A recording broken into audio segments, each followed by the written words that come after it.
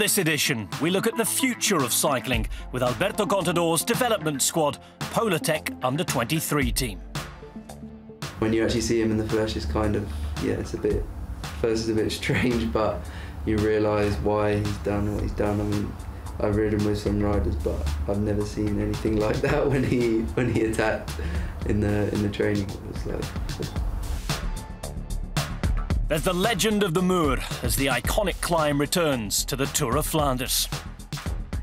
The intensity is like nothing else in cycling. Even the, the mountain stage in the Tour de France don't quite match the Muur on Tour of Flanders Day. I think it's the best fan experience in sport and in cycling. But first, we're off to Ghent Wevelgem with Chantal Blaak.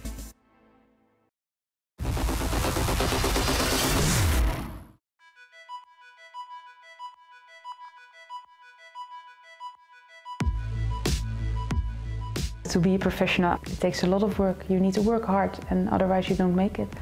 Um, yeah, especially in the winter. I do a lot of hours, but also a lot of gym training. That's everything. That's your rest, that you're training on the bike, that you're training in the gym, that's your recovery, everything. And then when the races start, you still work hard, but you also need to be really rested for the race. Also, it's not possible to do something next to cycling. I think for me, it's everything about uh, my bike. In Holland, a lot of people ride the bike.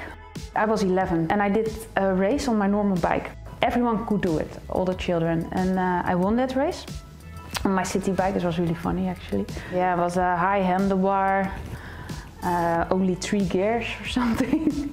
yeah, and we get uh, it was like uh, normal sports shoes and uh, you was wearing your own shorts and you get a t-shirt from the organization. And then uh, afterwards I won, I could go to the final and I also won the final. And then in the final, I, um, the first prize was the, um, a membership of a cycling club. So that's why I started.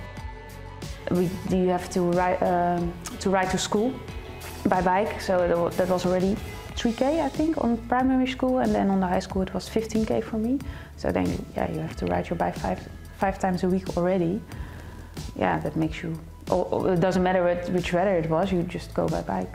Yeah, I think that makes you stronger. When it's cold and grey and boring, uh, yeah, when the weather is like that, you just need to do it. Then it's your work. And yeah, at that moment, I don't like it so much, but when you come home and you did a good effort and you trained well, I'm always happy.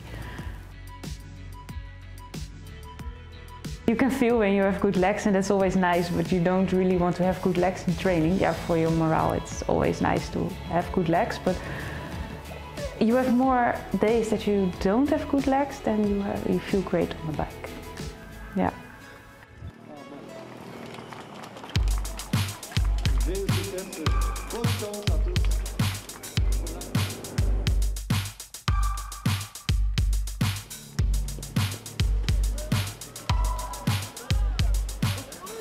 Gent-Wevelgem was nicer for me, but because I think um, it shows that Drenthe was not a lucky shot. I was really good at the moment, and it was one week later. So, yeah, it shows that, that it was not that I was not lucky in Drenthe, that I was really good.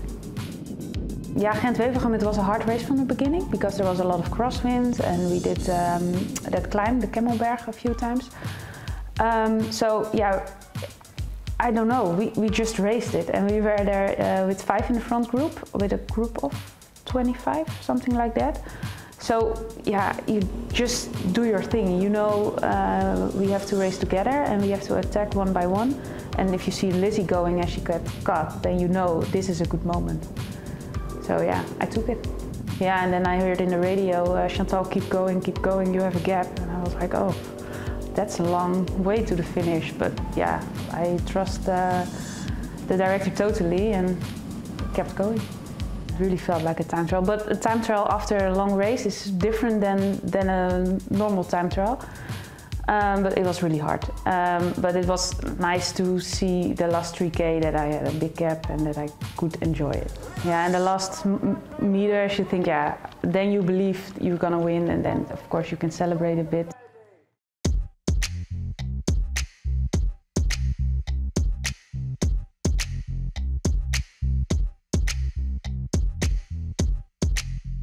I think I'm just the type for the a type of rider for the classics. So I'm built for classics, uh, and it fits me. Before the race, we have a plan, and then mostly in the race, we we keep to the plan, but you never know how you feel. So then you also need to communicate well. We respect each other. We are honest to each other, and yeah, you you can also be in the group with good legs and don't have opportunity. But yeah, that's that's also that happens when you are in a good team. But you also need to be a bit smart and see the game of cycling, and I like that about it. It's like uh, everything. It's the wind, where the wind is coming from. If you see the road is turning, you know you have yeah, you have to think already how the wind is at that point. You have to um, feel what other teams are doing, uh, see moves. Um, yeah, because it can be the winning move, uh, positioning, tactic, everything. It's always good to know each rider, but not too much, because my experience is that you have to be focused on yourself, and then it brings you more than when you are focused on others. But of course, you need to know the strength of your concurrents.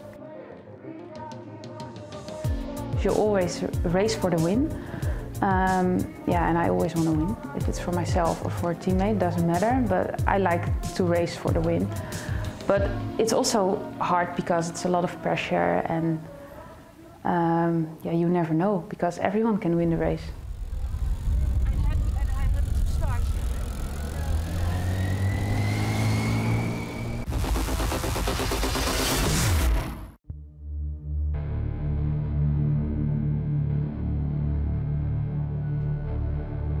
Gente nos conoce a nosotros es gracias al ciclismo, es lo que sabemos hacer, es lo que nos gusta y esa, fue la idea. ¿no? Empezar además con una filosofía muy clara que era la de ayudar a los jóvenes ¿no?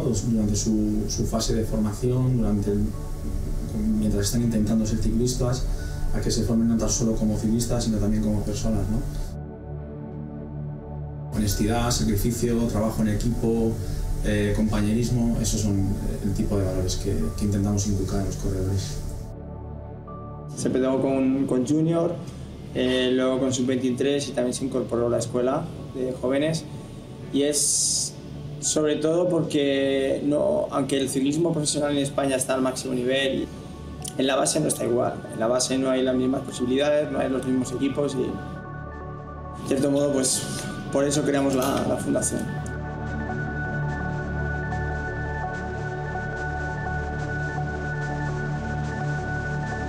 Dijimos que, que, teníamos que poner en marcha la fundación para intentar ayudar a diferentes, eh, en diferentes aspectos eh, que habían influido directamente en, en mi vida, ¿no? Eh, especialmente pues, en dos. Uno es la enfermedad que me sucedió en el 2004, el ictus. Nosotros en torno al ictus lo que tratamos es que la gente lo conozca. cuando Alberto sufrió la, la enfermedad o el ictus, nosotros no sabíamos qué nos estaba pasando. ¿no? Entonces, la labor que hacemos en la fundación es intentar comunicar los síntomas previos. Y luego, pues, el ciclismo, en la parte de las bicicletas.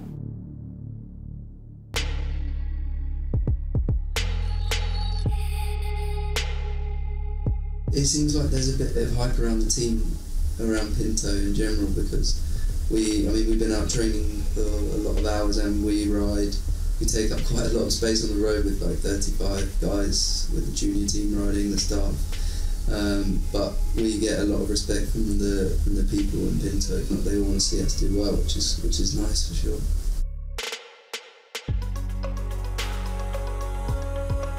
I think that the beliefs and the values that Fran and and Rafa and Livry, all the staff, um, are really sort of are really pushing with us. Uh, is going to make us much better cyclists in the future because we just believe in hard work. uh, gets results and, and nothing else. Muy difícil educar, es lo más complicado yo creo que tenemos en el proyecto. Intentar gestionar eh, los sueños que tú acabas de decir que tienen todos los corredores, porque todos tienen el mismo sueño, que es el de ser ciclistas profesionales. ¿no? Asusta porque yo, por ejemplo, veo lo que hay en mi casa y lo que cuesta y, y dices, y eso, yo digo, tengo que ser capaz. y no sabes si vas a ser capaz, ¿no? Porque a lo mejor mañana no soy ciclista profesional y dices, no tengo una carrera, no tengo... ¿Qué va a pasar? ¿No? Eso sí que me preocupa un poco, sobre todo si no consigo ser ciclista, ¿no? Pero yo tengo muy claro que lo que quiero ser es esto. Bueno, pues creo que está cerca, pero queda lo más difícil. El último salto que es el más complicado. Pero bueno, vamos a luchar. Yo tengo la suerte de poder entrenar con Alberto y bueno, este invierno ya he salido con él. Y ha habido un momento que se ha puesto a tope, a tope. Y de, pues yo creo que íbamos 30, nos hemos quedado 10 y luego nos hemos quedado 3, dos corredores con él. Y bueno, yo puedo ir con él eh, y la verdad que he sufrido mucho. Es todo el día muy, muy, muy rápido. When you actually see him in the flesh, it's kind of yeah, it's a bit. First, it's a bit strange, but you realise why he's done what he's done. I mean, I've ridden with some riders, but I've never seen anything like that when he when he attacked in the in the training. It was like, yeah, it was it was an eye opener.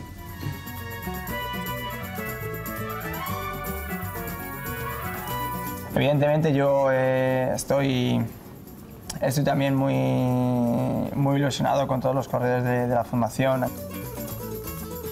Eh, yo creo que más que superar en, en victorias es que disfruten con, con, lo que hagan. Si consiguen disfrutar más de lo que disfruto yo practicando mi deporte y practicando mi, mi trabajo, yo creo que eso es para sentirse muy, muy afortunado.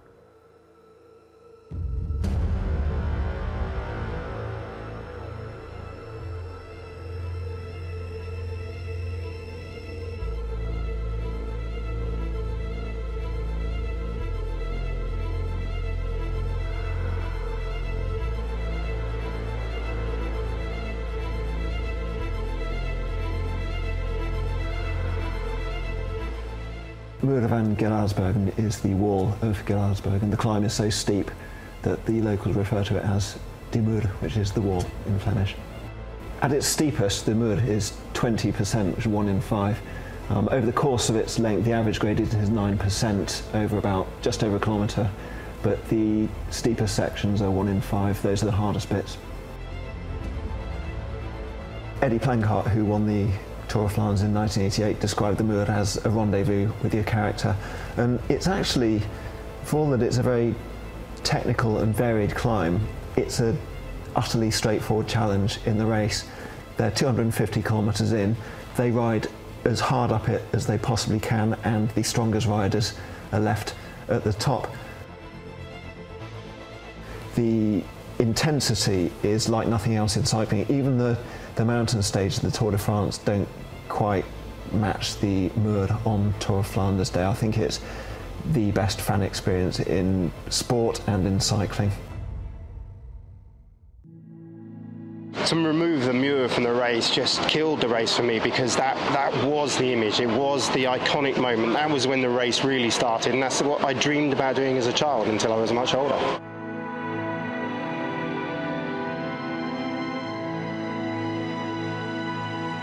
It's amazing to ride on the Muur. In the race, it's crowd. I mean, it's it was like uh, yeah, like riding into an arena. Especially in the old days when there was uh, I don't know maybe three four thousand people on the entire climb. Yeah, the Muur is really the, the symbol of Flanders. I remember when I was a kid watching uh, Tour of Flanders on TV. Uh, the first image I, I recall is uh, Museeuw or uh, Bartoli or Baldato attacking on that uh, on that climb. It's, it's so incredibly steep. You can't really stand on your pedals because it's cobbles. Um, but it's uh, it's it's always uh, great to be there. There's a lot of spectators. Uh, it's narrow and it's it's only small space, um, but the noise there is always uh, always great. fans in general were dismayed at the Mur being taken out because it was such a, it was such a photogenic part of the race, also such an important part of the race, and people don't generally like change, so they reacted very negatively against it. The reaction among the locals was fairly bad. There was a mock funeral procession held up the Mur where they carried a coffin, presumably holding the, the body of the, the dead Tour of Flanders, um, and carried it carried it to the top of the climb. Rosette Vlaam, de Walter Grote, Frot, Frans Fredje Martens, Simone, macaroni, spaghetti, de frutje, zoete melk, karnemelk, vlotsmelk, kattekens met de rode The climb as we know it, um, as the crux of the race, um, has been going since 1973. That year they moved the finish to Ninove and the Mur was placed much further, much closer to the finish of the race and that's, that's when the climb became really important. Merckx is an unusual, unusual case. The Flemish fans never really took him to their hearts because he wasn't, from, he wasn't really from Flanders. Um, he only won the race twice. I say he only won the race twice. It's still impressive to have done so, but other people have won it more times than he did. He never dominated it, and that's partially because it was a smaller, maybe more parochial race in Merckx's heyday. Also, it was an easier race when he was at his peak and he often got to the finish in the first group but got out sprinted by far, faster sprinters. The finish was in Ghent for most of his career.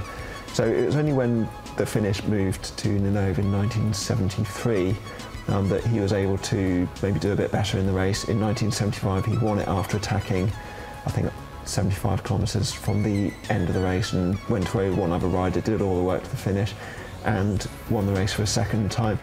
Johan Museeuw was his his nickname was the, the Lion of Flanders and the, the moniker Lion of Flanders is only given to the, the most Flemish riders who are the very best at what they do. Museeuw was brilliant at the Tour of Flanders. It suited his abilities. He tended to attack from a long way out. He attacked twice to win the race at on Ten Bossestraat in Brakel, which is the town before Geraardsbergen. But one of the iconic images of Johan Museeuw is him riding alone over the Muur van Geraardsbergen to win the Tour of Flanders um, in front of his adoring fans.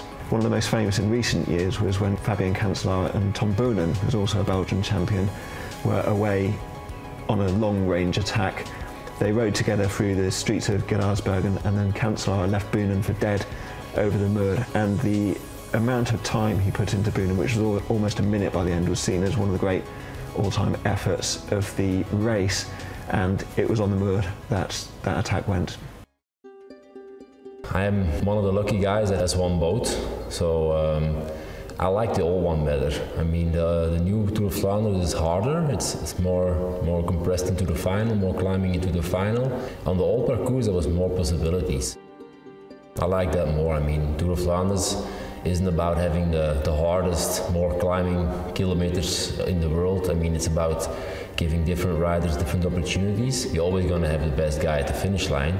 But right now, with the combination Kwaremont and Paterberg, it's always been decided in the last 25 kilometers. And in the past, sometimes it was at 50, 60, 70 k's already when the decisive move went.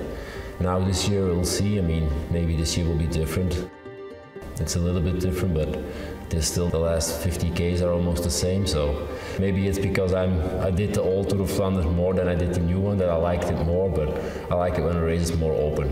Since 2012, the race has finished in Oudenaarde, and there have been a series of laps which each differ from each other, but it's been a very different beast to the way it used to be, which was point to point.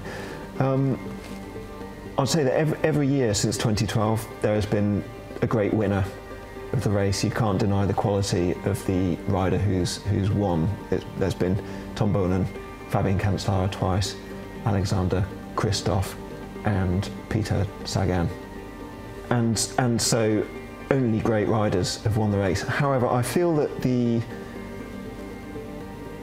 the race the race has been almost so hard that only great riders can win. One of the things I loved about the old route, which went over the Mur and then Bosberg and then the run into Ninove, was that although strong riders were obviously to the fore on that route, there was also an element where a cleverer rider could compete with the strongest rider.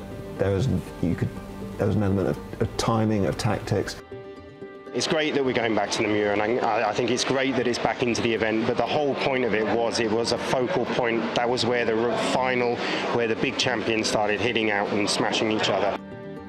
I think it's really nice. I think every cycling fan is happy to have the Muur back.